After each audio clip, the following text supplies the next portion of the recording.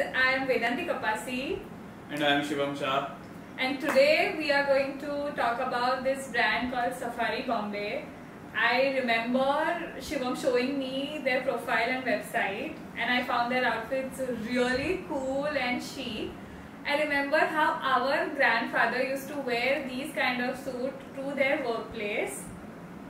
And today we are going to show you our interpretation of the Bombay Safari. We are going to show you how we wear the Bombay Safari and we roll. Are you guys excited?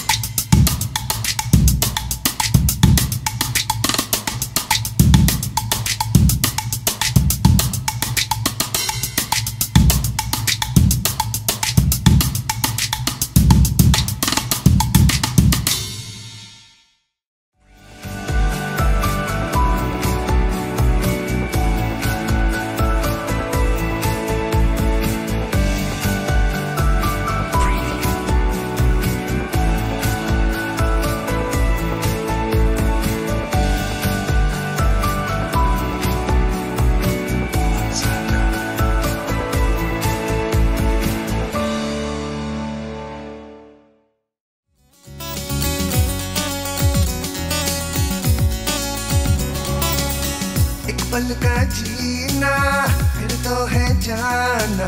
तोहफा क्या लेके जाइए, दिल ये बताना। खाली हाथ आए थे हम, खाली हाथ जाएँगे।